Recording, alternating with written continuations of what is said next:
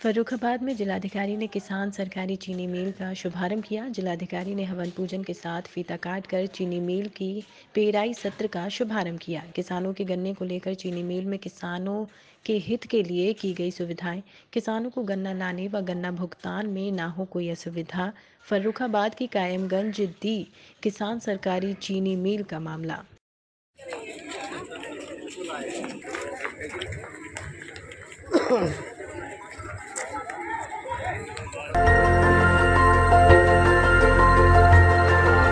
देखते रहिए डीबी भारती समाचार नज़र हर खबर पर।